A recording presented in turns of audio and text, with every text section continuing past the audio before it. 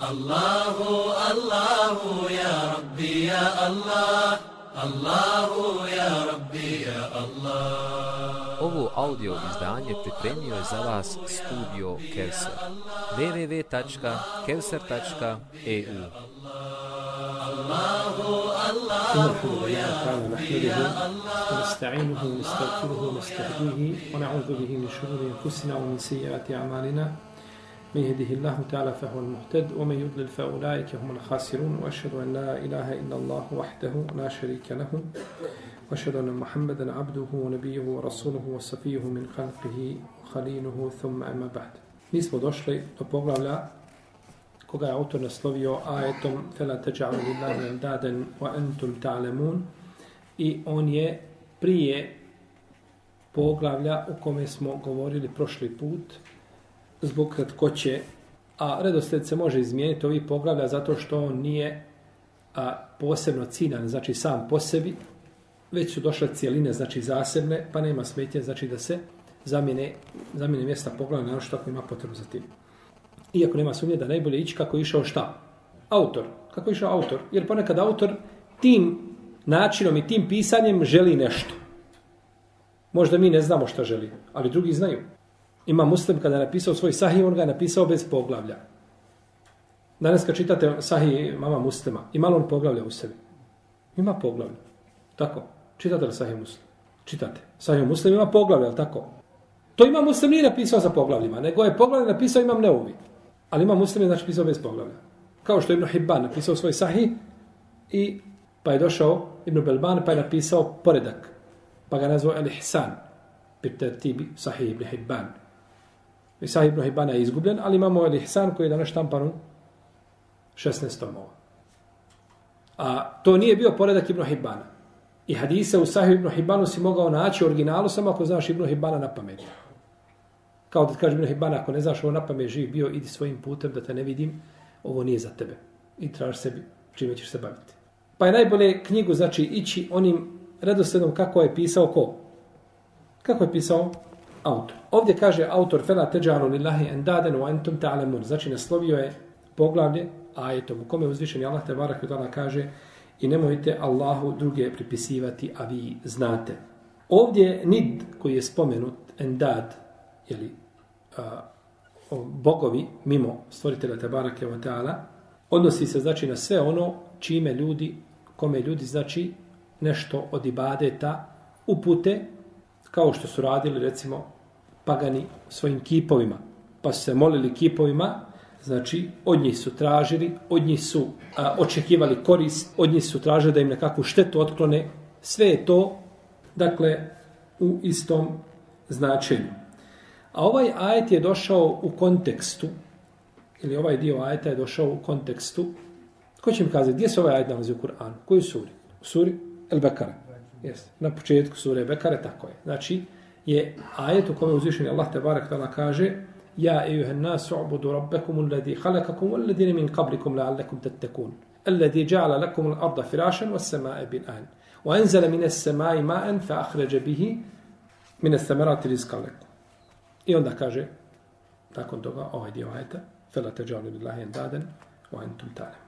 Kaže uzvišeni Allah te barake od ta'ala, o ljudi, obožavajte vašeg gospodara koji vas je stvorio i one koji su bili prije vas. Šta znači one koji su bili prije vas? Koji je stvorio, da ne rekao obožavajte Allaha i oni koji su bili prije vas, da obožavaju šta? Onoga koji je bio prije, ne, nego obožavajte Allaha koji je stvorio vas i stvorio je one prije vas. Ali da se ne bi dva puta poravno reći stvorio, misli se na stvaranje, ne na obožavanje Znači ovdje se cilja stvaranje. Koji je, da biste bili bogobojazni, koji vam je zemlju prostranom ili postelinom učinio nebo zdanjem i onda vam spušta vodu sa neba i raznorazne plodove izvodi njome i obskrubo vama i nemojte Allahu druge pripisivati da biste druge bogove, a vi znate. I pogledajte ovdje kako uzvišeni Allah te barak je putem rububijata dolazi do uluhijeta. Jer je problem bio kod mušrika ono što smo govorili. Šta? Uluhijet. Nije bio rububijet. Oni su tiče rububijeta bili ovaj bolji od većine ljudi danas na zemlji, pa čak i neki muslimana. Imali su tu potpiniju, kada je god upitaš ko je stvorio nebesa i zemlju, koji je obskrbljuje, znali su da je to Allah uzvišeni. Pa onda stvoritelj te barak tala kaže ljudi, onaj ko se stvorio i onaj ko se obskrbljuje, ko se u živote održava i ko, i ko, i ko, on je najpreći da bude šta? Obožavan.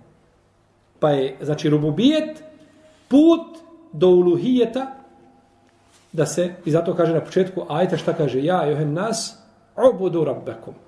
Obožavajte vašeg gospodara. Obudu rabbekum uledi halekakum. Obožavajte vašeg gospodara koji vas je stvorio. Zato što onaj ko te je stvorio i ko te obskrbljuje i ko ti život daje i ko te umrtvljuje, on jedini je zaslužen da bude šta? Obožava. Jes. To je značenje, znači, ajet. Ovdje kaže Ibn Abbas, nemojte Allahu druge pripisivati, a vi znate, nemojte mu, kaže, širk činiti i druge mu prepisivati i od njih kakvu korist tražiti ili da vam ne daću od vas otklone, a vi znate da je on vaš gospodar koji vas je obskrbio i znate da je teohid kome vas poziva poslanik sallallahu alaihi wasallam istina. A vi znate. Nemojte Allahu druge pripisivati, a vi znate. Znate da Allah nema koga? Sudruga. Znate da uzvišeni Allah te barak nema sudruga. Ima kod imama Ahmeda hadis u musnedu od Harisa ibn Harisa Lešarija i ovaj hadis ima dobar lanac prenosilaca ili vjerodostojan, jedno od dvoje. Da je Allahov poslanik sa osvijem rekao uzvišeni Allah je naredio Jahjau Jahja ibn Zakarija, tako. Naredio mu je pet stvari da radi po njima i da ih da tim stvarima poziva Benu Israil. Pa kao da nije odmah to uradio. Bože, sačuvaj da imao nije šta, da, da to ne učini. To nikako, to nemoguće u, kada je u pitanju poslanik. Ali nije odmah, znači, pristupio tome. Pa mu je rekao Isa, alaih kaže, ako to ne uradiš, ja ću raditi. Pa je rekao, brate moj, ako to ti uradiš, onda ću ja biti kažnjen. Onda ja nisam šta ispunio?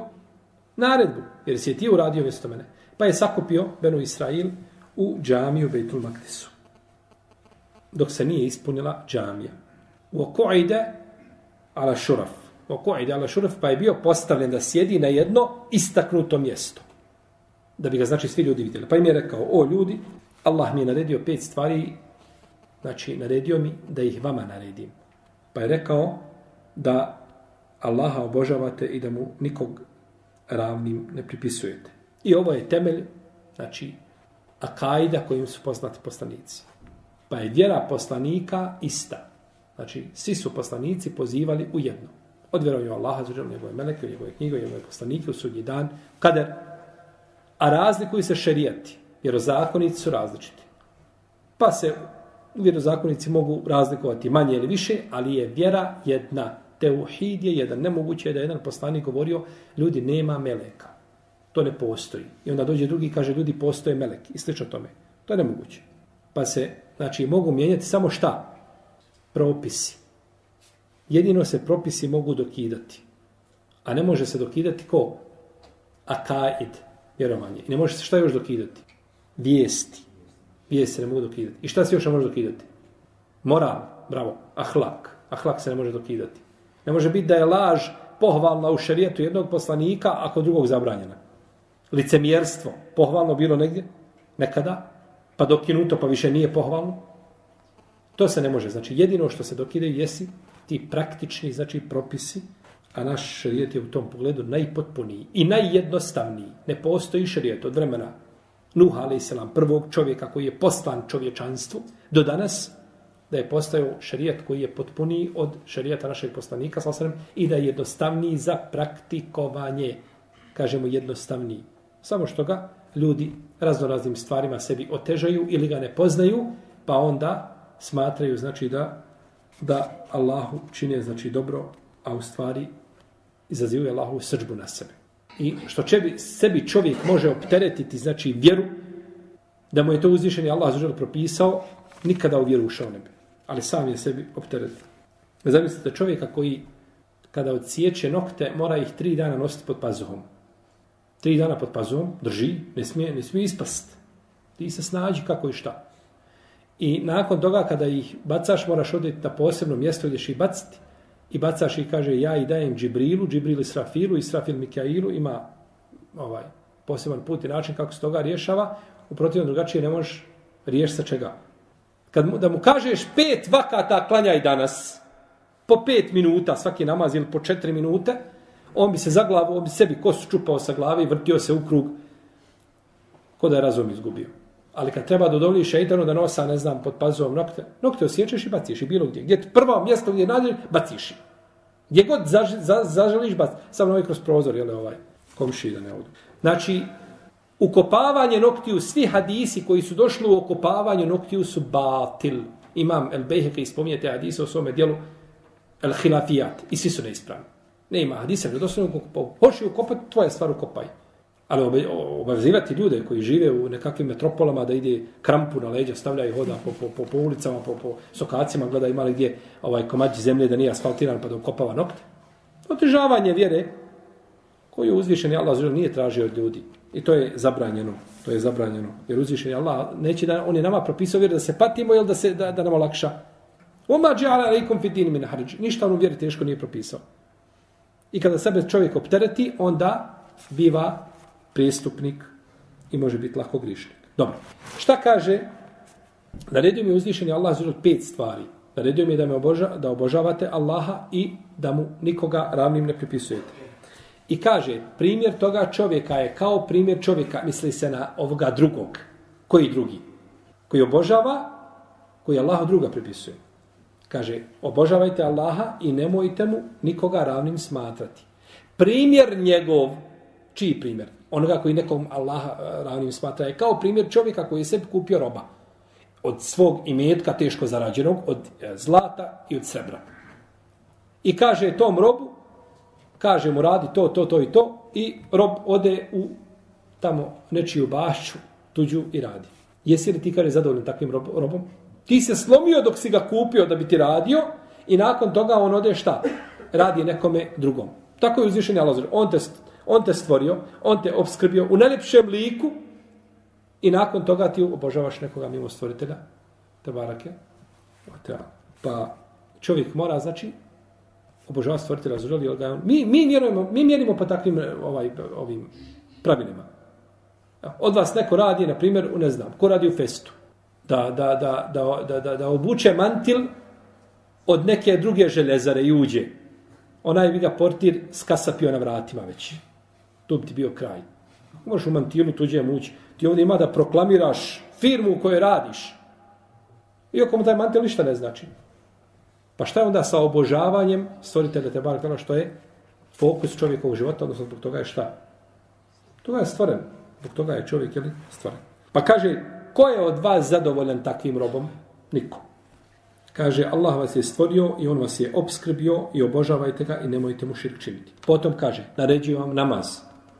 Kaže, jer Allah stoji ispred čovjeka kad klanja, dok se ne okrene. Kad se pođe okretat, onda izgubi se taj fadilet ili taj fadil, ta odlika. Od časti mu'mina jeste da Allah zrod stoji ispred njega dok on šta obavlja. Kako ispred njega je, kako i šta, mi ne znamo. Znači, tu kakvoću mi ne znamo. Kada kažemo stoji, ovo treba staviti pod navne znake. Da neko ne sveti da je to stojanje kao naše stojanje. Nalazi se ispred, znači, čovjeka. U redu. To je, znači, Znači, pa čovjek treba znači gledati da se ne okreće u namazu ili lijevo desno, jer tada gubi znači ovu odliku. A isto je oni koji klanjaju ovaj, na način kako klanjaju, mogu lahko izgubiti tu odliku. Zamislite čovjeka koji kaže mi neka braća, sjedili smo u džami i gledali jednog hođu. Nije hođa, nije s naših prostora. Prored. Da ne prepričali, Ima i drugi hođa, ima na drugim mjestima hođa koji belaje prave. Kaže, dva rekiata je klanjao za 29 sekundi. Od tekbira do selama 29 sekundi. To znači kada bi nekome pokazao kako izgleda namaz dva rekiata od pola minute i kada bi rekao čovjeku, ovaj čovjek klanja tebi. Bil ti prijatelj takav namaz? Bili on koji klanja da se njemu, da je, da je dozvoljeno da, da njemu neko obavlja namaz, bili prihvatio takav namaz? Što je jel, svakako neispravna ova pretpostavka, Pa ako ne bi prihvatio živ bio, onda kako možeš stvoriti ili te bar činiti davati ono što ti sam ne bi uzeo? Kao što je sa sedakom, je tako? Nemoj davati osim, ni ono što ne bi primio osim šta? Zatvorene oči. Ako neko oči zatvori, onda primio ušak. U protivnom ne bi, ne bi to prihvatio. I kaže, naređujem vam post. Primjer postača je kao primjer čovjeka koji nosi jednu posudu koja je misk i pored koga god prođe osjete taj miris. Kaže, zaista je miris iz usta postača draži Allah od mirisa miska. I kaže, naređujem sadaku. I primjer čovjeka koji daje sadaku je kao primjer čovjeka koga su neprijatelji ga zarobio, svezao ga i priprema ga za ubistvo, da mu glavu odrube. Pa on kaže, hoćete li da se iskupim? Pa im daje sve što ima, pa se iskupi. Na šta se ovdje aludira? I šta? Znači, hene mi? Čime? Sadakom. Pa, jel vi ne slušate, jel niste samo, jel, hoću da pričam ovaj, sinsekriti? Došao je daje sedaku. Kaže, primjer čovjeka koji daje sedaku je kao primjer čovjeka koga je neprijatelj zarobio i priprema ga na pogubljenje. I on se iskupljuje, daje sve da bi se iskupio. Time se aludira da ti se sadakom iskupljuješ od čega? Od vječne kazne, džahennemske. Znači, to je primjer jeli, čovjeka koji daje sadaku. I kaže, budite od onih koji puno Allaha spominju. Jer primjer onoga koji puno Allaha spominje kao primjer čovjeka koja, koga ganja neprijatelj. U stopu ga prate. I on kaže, dođe do jedne velike utvrde i uđe u nju i sakrije se. Najlakše ćete se, kaže, sakriti od vašeg najvećeg neprijatelja, to je šeitan, zikrom, spominjanjem Allaha, te barake. Potom je poslanik, sal sam rekao, a ja vam naređujem pet stvari. Subhanallah, jesu, jesu riječi poslanika, sallallahu alaihi vseleme, zaista džavamijul kelem. Ona je zgroviti govor koji je dat. Ovo je, znači, ovaj hadis a, svojom kratkoćom, on je vjera čovjekova. Kaže, ja vam naređujem pet stvari. Naređujem džemat, i naređujem da slušate i da se pokoravate. Džemat. Da, se sluš, da slušate i da se pokoravate. I naređujem hijđu i naređujem džihad na Allahovom putu. Naređujem džemat, misli se na, na šta? Na džemat muslimana, ali tako? Jer kaže dalje ovdje u hadisu, kaže, a, kaže, a, fe innehu men haređe min il džemati kajde šibrin fe kad hala rebkate islami min onuqihi ila jarđe. A kaže, ko iziđe iz džemata, koliko jedan pedal, on je, kaže, skinuo ogrlicu islama sa svoga vrata, osim ako se vrati. I ovo se često, kad u džematu ima problem, Mutavelija se ne slaže, ne znam, sa, sa hođom, ovaj s ovim, ovaj s ovim, kaže, ko pocijepa džemat, on je skinuo ogrucu islama sa svoga, on će u džahennem. Tu se odnosi na to, braću. Ovdje se na džemat misli na halifetima, ima hali, hilafet, ima halifa i ljudi koji su pod njegovim i onda on pocijepa takav jedan džemat. A ne misli se na džemate ove male. Iako nije dozvoljeno, ne znači to da je dozvoljeno šta u džematima praviti. Fitnu i smutju i nered, to nikako, ne, ne kaže se da je dozvoljeno. Ali se hadis ne odnosi na šta. Nakon toga kaže esema wa ta, da slušate i da se pokoravate. Kome? A pretpostavljam halif ili namjesniku njegov. Pa se odnosi na šta? Na na hilafeta ne odnosi, ne možemo mi, nemamo mi pravo braći uzeti argumente šerijetske i njima dokazivati lične na kakve koristili. Mi kažemo, ne, to je zabranjeno u osnovi, jer imaju drugi argumenti koji govore o zabranju, tako sijanja smutnje, nereda, e, bilo kakve vrste svađa među muslimanima. To je drugo na stranu. Ali ako hoćemo hadisom dokazivati, e onda moramo hadis usmjeriti, znači, u stranu, jeli, odnosno, jeli, u, e, e, u pogledu onoga u čemu je, jeli, hadis kazan. Potom kaže, ko bude pozivao džahilijetu, on će biti od onih koji će klečati, koji će klečati u džehennemu. Kaže Allah poslaniče, taman klanjao i postio, kaže taman klanjao i postio i mislio da je musliman. Ovaj hadis, znači je jedan od hadisa, ili onoga o čemu se obavijestio poslanik, sa osam od priješnjih naroda, što se dešavalo. Ibn Abbas dalje kaže ovdje, autor navodi, znači riječ Ibn Abbas posle ovoga ajeta, kaže, ovdje kada se govori o saučesnicama, misli se o širku. Kaže, širk je a, skriveniji od mrava koji hoda po stijeni u mrkloj noći. Mrkla noć, prst pred očima ne vidiš, mrav hoda po stijeni. Možeš li ga čuti kako hoda? Ne možeš. Možeš ga vidjeti. E takav je širk. Takav je širk Ibn Abbas je znači ovdje to lijepo opisao i kaže to je da se kaže tako mi moga života ili da se kaže tako mi tvoga života ili da kaže da nije bilo psa pokrao, pokrali bi nas lopovi da nije bilo psa, pokrali bi nas lopovi. Riječ širk. Koliko ljudi to govori? Koliko ljudi te riječi izgovara? Ne cilja ovaj, ali riječi kao riječi po sebi su šta? Znači, širk.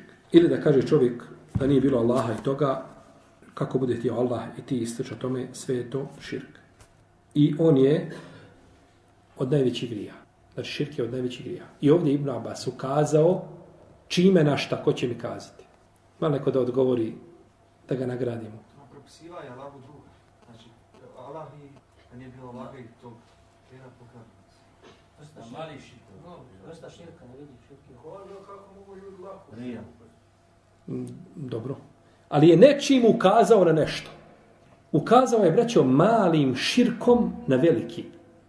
Ovo što sam ja spomenuo ovdje sada, kad smo kazali da je širk skriveniji od mrava koji kmiže po stijeni u mrkloj noći, je to je veliki ili mali širk? To je mali širk. To je definicija, tako se, jeli, to poslanik je sam sam upozorio na taj mali širk. Na rijavu, namazu i slično tome. To je mali širk koji čovjek ne primijeti činiš, a ne primijetiš, ne, ne osjetiš da si učinio, da te neko kaže učinio širk, rekao ga, odubila kakav širk, molim, ja musliman čovjek. Pa ne osjeti ga. Pa Ibn Abbas ukazao ovim malim širkom na šta? Na veliki ovdje, fela teđalu lillahi endaden, nemojte Allahu ovaj druga pripisivati. Jel se to misle na veliki ili mali širk? Na veliki, pa Ibn Abbas malim ukazuje na ono šta što je. Već, I to je, braćo, od razuma Ibn Abbasa, njegovog svatanja Kur'ana, znači, kako čime, jeli, može ukazati. I to je to je od, od stilistike, jer da se ukaže ponekad, ovaj, kada se kaže, nemojte red, roditeljima reći ni uf, ni uh. Znači li to zabranu uh, nekakvog, ne znam, uh, verbalnog obračuna, a pogotovo fizičkog, znači ili ne znači? Svakako, pa je Kur'an ukazao na ono što je manje, želeći onim što je manje ukazati na ono što je šta? Veće. I to je, to je znači sa stilističkog aspekta gledano puno ljepše nego da se kaže nemojte činiti to, neka se spomene najmanje. Ha. Dobro. Kaže ovdje dalje a, od Omara ibn Khattaba radijallahu anhu se prenosi da je poslanik sa osadom rekao men hadatha bi gajri Allahi fekad kefara au ešrek. Ko se zakune sa nekim mimo Allaha, on je počinio širk, počinio je kufr ili širk. Ovo bilježi Tirmizi i hadis ima dobar lanac prenosilaca. Dobro. Kada je ovdje rečeno učinio je kufr ili širk, ovo može biti, može se dvojako razumjeti ili dvojako protumačiti. Da su ovo riječ poslanika, sallam, pa kažemo ko se zakune sa nekim mimo Allaha, on je učinio kufr ili širk, jedno od dvoje. A možemo biti šta da je? Ne može. Rečeno je ovo ili ovo. Znači, ne može biti oboje. Nemojte ovaj... Može biti, braćo, da ravija nije, koji je prenosio, nije siguran. Šta je u hadisu došlo? Ja je došao u kufr, ja je došao šta? Jedno sigurno do to dvoje. Ali ja se ne, ne sjećam šta? Koje je? Pa počinio je ili kufr ili širk. Pa može biti da je sumnja od koga došla. Od, I ovo se često navodi u hadisima. Često ima od ravija sumnje, znači, da li je ovo ili ovo. Kako ćemo znati šta je ispravno? Nagime, maš ti šta? Po drugim ravijama koji prenose hadis. Jeste čuli? Po drugim ravijama. Po drugom hadisu. Imamo isti hadis, došao drugim putem i uporedimo ga i onaj tamo kaže ne ko učini, ko se zakune sa nekim mimo Allaha, učinio je širk. Kažemo, znači učinio je širk. Pa bi mogli, znači ovdje da kažemo da je riječ širk preferirajuća u odnosu na šta, na kufr. Ili obratno. Kažemo primjer, jer ovdje nije došlo u tom hadisu. Pa znači gledamo druge verzije hadisa i na osnovu njih šta? Na osnovu njih sudim. Jeste. Došlo je od Ibnu Mesauda da je rekao da se zakunem sa Allahom, a lažem, draže mi je nego, da se zakunem sa nekim mimo Allaha istinu govori. Pa je kod Allaha manji grijeh da kažeš tako mi Allaha i slažeš, nego da kažeš tako mi babe i istinu govoriš. I ovo ljudi kada koji sude emocijama šta? Da tako nikako to ne može stvariti. Kako može biti da, la, da kunem sa Allahom i lažem, manji grije nego da se kunem sa babom, a ja istinu govorim. E zato vjera nisu emocije. Ne može vjera biti nisu emocije, nije intuicija da, da, da čovjek nešto dobija, nego je onako kako je došlo od poslanika sallallahu alaihi wa alaihi wa sallam. Jer je, ko će mu ovo pojasniti? Zašto je ovo ovako? Ima neko da zna iz ovih dole zadnjih redova. Hajde, reci.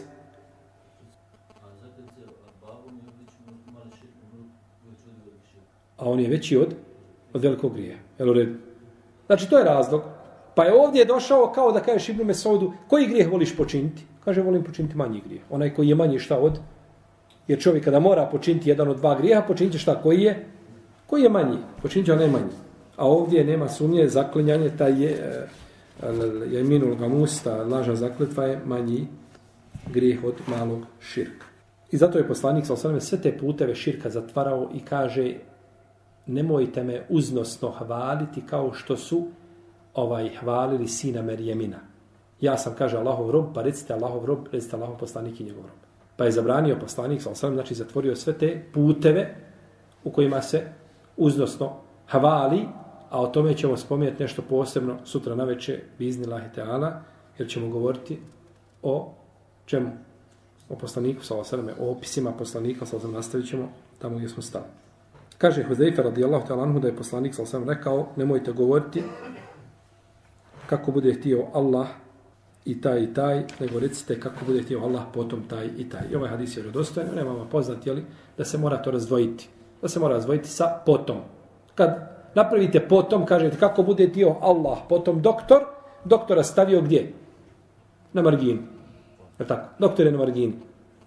Osnova je kako bude htio Allah, potom Allahova volja vezana je Znači, do, volja doktora je vezana za Allahovu volju, kako on te barak i odredi, a nikako da tođe u, jedan, jeli, u jednom kontekstu. A, pa je čovjeku dozvoljeno braćo od živih da traži, od živi ljudi može tražiti da im učinio širk samo ono što mu mogu.